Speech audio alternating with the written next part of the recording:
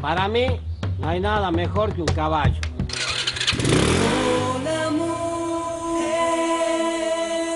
Es fiel, noble y no gasta nada.